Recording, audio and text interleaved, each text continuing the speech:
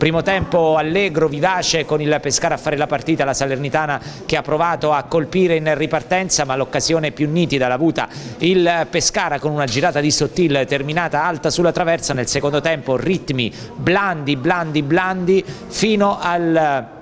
Gol di Bettella sugli sviluppi di un corner, qualche settimana fa parlavamo della prima da professionista di Bettella, oggi parliamo del primo gol tra i professionisti della classe 2000, la Salernitana scossa dal gol subito, ha provato a ristabilire la parità ma in una delle tante ripartenze avute il Pescara, sempre sugli sviluppi di un corner con il colpo vincente da due passi di Ciofani, la palla ha superato abbondantemente la linea, ha trovato il gol del 2-0, dunque Pescara chiude al quinto posto, attendiamo la giustizia sportiva perché potrebbe diventare quarto posto